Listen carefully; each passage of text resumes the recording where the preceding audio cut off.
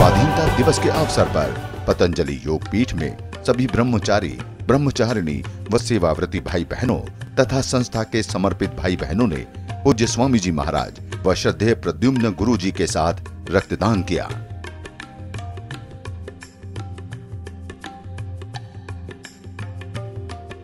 अभी कुछ दिनों पूर्व दिव्य फार्मेसी के सैकड़ों कार्यकर्ताओं के साथ श्रद्धेय आचार्य बालकृष्ण जी महाराज ने रक्तदान कर एक आदर्श प्रस्तुत किया।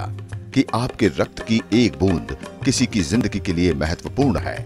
स्वामी जी महाराज ने कहा कि यदि हम पूरा जीवन देश के लिए नहीं दे सकते तो कम से कम एक वर्ष में एक बार रक्तदान अवश्य करें और रोज़मर्रा के कार्यों के साथ हर दिन योग सेवा से, मानव सेवा एवं राष्ट्र सेवा के लिए निकालें तथा जो भी कार्य कर रहे हैं, उसे सेवा भाव से करें।